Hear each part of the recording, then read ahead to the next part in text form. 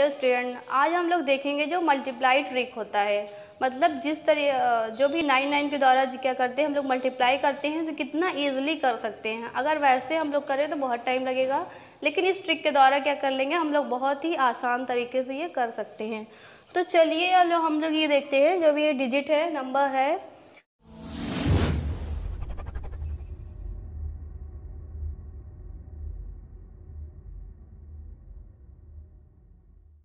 जैसे इस तरीके का रहेगा तो कैसे करेंगे? तो यहाँ पर क्या है? थर्टी फोर मल्टीप्लाई बाय क्या है? नाइन नाइन तो कर लेंगे, पहले हमको क्या करना है? ये थर्टी फोर लिखा हुआ है, ये वन कम कर लेंगे। मतलब ये हो जाएगा थर्टी थ्री ठीक है? एक यहाँ पर लास्ट इस कम करना है। अब यहाँ पर क्या है? ये टू डिजिट है तो दो और डिजिट आएँगे। मतलब दो और आएँगे। तो यहाँ पर क्या है? जैसे कि नाइन नाइन है, दो तो यहाँ पर क्या करें इस वाले डिजिट में इतना जोड़े कि नाइन हो जाए। तो तीन में कितना? छः जोड़ेंगे तो नाइन हो गया। छः इसमें भी क्या जोड़ेंगे? छः जोड़ेंगे तो नाइन हो जाएगा। तो इस तरीके का इसका मल्टीप्लाई हो गया। ठीक है? अब हम लोग नेक्स्ट देखते हैं। अगर जो कन्फ्यूज़न होगा वो भी समझ में आ जाएगा। नेक्स्ट है एट्टी फाइव तो यहाँ पे क्या करेंगे? इसमें एट्टी फोर कर देंगे। वन कम करके। अब ये दो डिजिट है दो आ, क्या आएगा? दो डिजिट और आएगा। क्योंकि नाइन नाइन से क्या हो रहा है? मल्टीप्लाई अब इसमें क्या करना है? इस वाले में एट में क्या जोड़े कि नाइन बन जाए? तो वन जोड़ेंगे, ये नाइन हो जाएगा। फोर में क्या जोड़े कि नाइन हो जाए? तो फाइव जोड़ेंगे, ये भी क्या हो जाएगा? नाइन हो जाएगा।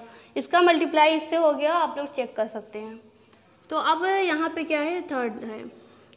तो यहाँ पे लिखा है सेवन फोर एट तो क्या करें? लास्ट में कम कर लेंगे वन सेवन फोर एट का क्या लिख लेंगे? सेवन थ्री डिजिट है तो थ्री डिजिट क्या आएगा? और आएगा।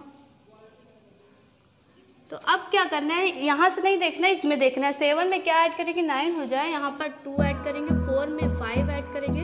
सेवन में क्या करना है? टू ऐड करना है। इस तरीके से इसका मल्टीप्लाई हो गया। जो ये आंसर होगा तो पूरा टोटल होगा, ठीक है? अब यहाँ पर क्या है? क्या आप लोगों ने ध्यान किया है कि ये टू डिजिट था तो टू नाइन था। ये भी टू है तो टू यहाँ पर थ्री डिजिट है थ्री नाइन है। इस तरीके का तो ऐसे होगा। क्या ऐसे भी हो सकता है ये थ्री डिजिट है, यहाँ पर फोर या फाइव नाइन हो जाए? तो उसका भी ट्रिक हम लोग समझेंगे इस, इसको समझने के बाद, ठीक है? तो यहाँ पर क्या है फोर है, इसमें भी क्या करेंगे वन कम कर लेंगे तो हो जाएगा एट नाइन फाइव यहाँ पर वन हो जाएगा। फोर डिजिट था तो फोर डिजिट क्या आएँगे, और आएँगे। अब इसमें देखना है, ऐसा क्या जोड़ना है कि नाइन हो जाए एट में क्या वन जोड़ेंगे नाइन में क्या जोड़ेंगे कि नाइन हो जाए तो ज़ीरो ऐड कर देंगे। फाइव में क्या करना है? फोर ऐड करना है, वन में क्या जोड़ना है? एट। इस तरीके से क्या हो गया? इसका पूरा मल्टीप्लाई हो गया। आप लोग चेक कर सकते हैं। अब हम लोग देखते हैं जो डिफरेंट होता है। चलिए अब हम लोग देखते हैं जो डिफरेंट। जैसे ये टू डिजिट है, यहाँ पे थ्री है, यहाँ पे टू है तो फोर है। इस तरीके क्या? ये नाइन नाइन ज़्यादा हो जाएगा। इसका भी वैसे ही करना है। यहाँ पर थर्टी थ्री कर लेंगे। ए वन कम कर लेंगे। और क्या है? यहाँ पे थ्री डिजिट है। एक नाइन ज़्यादा है तो उसको वैसे ही एक जो ज़्यादा है, हम लोग यहीं पर बीच में लिख लेंगे। अब यहाँ पर दो डिजिट था तो दो और आएँगे अंक। तो करना क्या है? इसमें क्या ऐसा जोड़े कि नाइन हो जाए? तो यहाँ पर सिक्स होगा, ऐसा क्या जोड़े? नाइन हो जाए। यहाँ पर क्या हो जाएगा? सिक्स हो जाएगा। अब नेक्स्ट देखते हैं। यहाँ पर क्या है? कम करेंगे एक तो एट्टी फोर हो गया। अब यहाँ पे देखिए चार ये है। मतलब दो ज़्यादा है नाइन तो यहाँ पर दो बार नाइन लिख लेंगे। अब क्या करना है? यहाँ पर दो डिजिट और आएगा। अब इसी में क्या कर ऐसा क्या जोड़े कि नाइन हो जाए तो यहाँ पर वन हो जाएगा, यहाँ पर फोर में जोड़ेंगे पाँच तो हो जाएगा नाइन इस तरीके का। यहाँ पे देखिए ये क्या है सेवन फोर एट का क्या कर लेंगे सेवन कर लेंगे। यहाँ पे ये थ्री डिजिट है फोर है वन जाता है तो एक बार नाइन लिखेंगे। और थ्री डिजिट था तो थ्री डिजिट और आएगा यहाँ पे। तो ऐसे क्या जोड़ लें नाइन हो जाए, यहाँ पे टू यहाँ पर इसमें फोर में फाइव ऐड करेंगे सेवन में टू इस तरीके का हो गया।